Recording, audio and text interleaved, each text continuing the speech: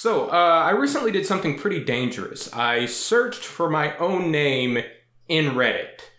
Now, uh, thankfully, nothing too terrible popped up, uh, but I did find an interesting post from about a year ago where someone had asked about uh, contrabassoon quarter tone fingerings, and someone else had responded that uh, maybe they could reach out to me. Uh, unfortunately, it's probably too late to help uh, the person who originally asked, uh, but I did think it would make an interesting topic for a video because I do have some contrabassoon quarter tone fingerings. Um, before I get into the fingerings themselves, though, I want to talk about uh, a few caveats. Uh, first of all, there's the big uh, caveat that applies to pretty much any contrabassoon fingerings, and that is that the instruments are fairly inconsistent. Amongst themselves. So if you've downloaded my contrabassoon fingering chart, uh, you'll you'll see it it specifically says this is not the one true fingering chart. These are ideas uh, based on my own experience that may help you develop fingerings for your particular instrument. So obviously that's going to apply more so to quarter tone fingerings. The second big caveat uh, involves quarter tones uh, on any of the modern woodwind instruments. Um, the, the best analogy I could think of would be that playing uh, quarter tones on uh, a modern contrabassoon or bassoon or flute or clarinet or saxophone is a bit like trying to play a complex um, chromatic passage on uh, an instrument like this. This is a, a. Uh, it's a mostly diatonic instrument. It doesn't have separate tone holes for each uh, chromatic step. So to play the chromatics, you have to use uh, cross fingerings. Um, and that's true for uh, on modern woodwinds when it comes to quarter tones. Modern woodwinds uh, are not built with quarter tones in mind. They don't have separate tone holes for quarter tones. So this is going to create uh, a lot of deficiencies uh, in uh, quarter tones on woodwinds that uh, composers and performers need to be aware of when considering whether or not it's a good idea to write uh, or play these at all. These deficiencies will include poor intonation, uh, since we're relying on accidental fingerings uh, that were not uh, intended by the manufacturer, uh, things things aren't going to be perfectly in tune. Some notes will require more humoring than others uh, to bring into tune, and other notes are probably realistically just not going to be in tune. Um, the uh, second deficiency to look out for is clumsy technique. Uh, once again, we're relying on accidental fingerings, some of which are going to be awkward to transition between, are not only transitioning from one quarter tone fingering to another quarter tone fingering, but transitioning from a uh, regular chromatic fingering to a quarter tone fingering. The third big deficiency we're going to face is inconsistent timbre. Uh, so modern, or the most common variants of the modern orchestral woodwinds are built on the concept of each chromatic pitch in the fundamental register having its own tone hole. Uh, the only real exception to this is E flat 3 on bassoon, which is played by default as cross fingering.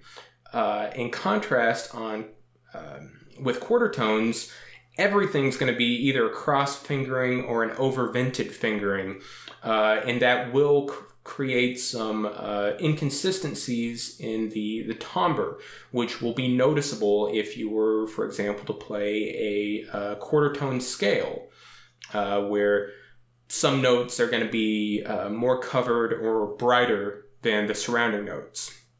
And the fourth big deficiency is that players, uh, at least uh, outside of some uh, from some specialized players, uh, they're not going to be familiar with uh, these fingerings by default, or at least they're much less likely to be. Um, so that can make your uh, your piece less accessible if you're requiring players to to, to know quarter tone fingerings. So, with those deficiencies in mind, um, uh, I'll go ahead and get started with the, the fingerings themselves. Uh, there is a link to a PDF um, in the um, in the description below, which should be more accessible. But I'll have the fingerings over over on this side as I go, and I'm going to start with uh, low F, and then go up from there, and then go to go back to the uh, the the lowest notes at the beginning because there's some some uh, additional concerns to be aware of down in that lowest register.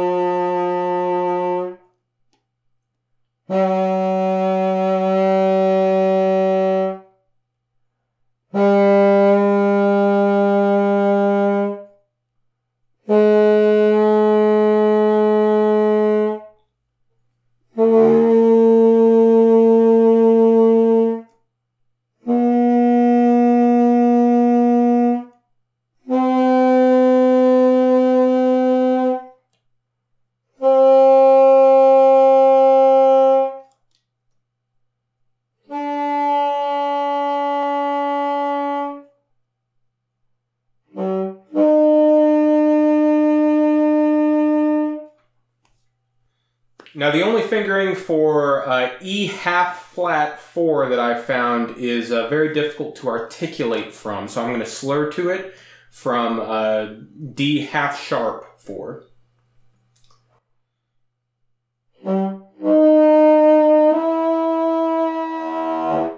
And it's also sharp and sounds terrible.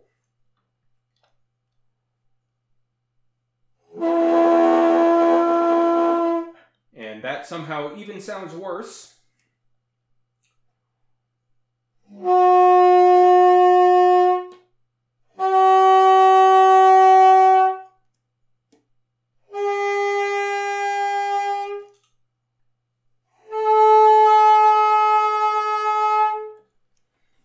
Now, um, I would personally consider low F the lower limit for semi reasonable contrabassoon quarter tones.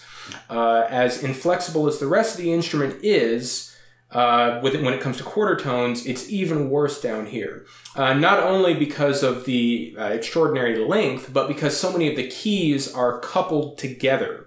So, for example, I can't. Uh, if I play uh, press the low C key, it automatically closes the low D key. If I press the low B key, it automatically closes the low C and low D keys.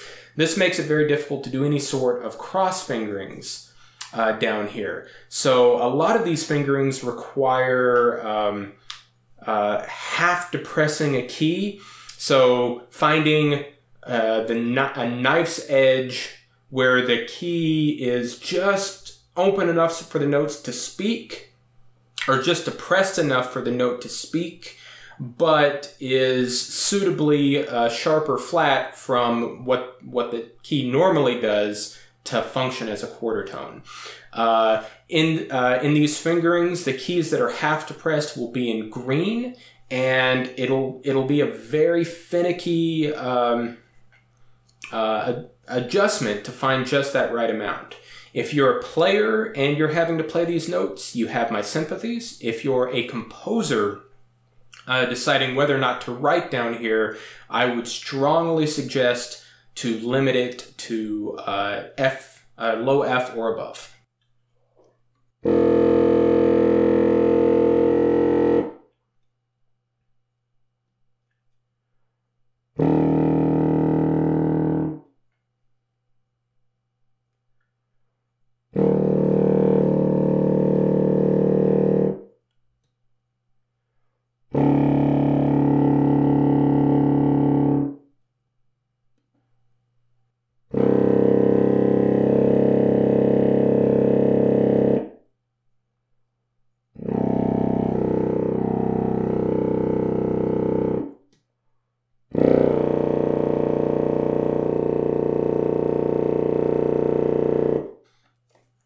Anyway, uh, I hope that was helpful to at least some of you. Uh, and if you're the original post person who posted that uh, Reddit post, um, I, I, don't want to share your name in case uh, you'd prefer to be anonymous. Um, sorry it's a year late, but, you know, better late than never, maybe. Have a great day.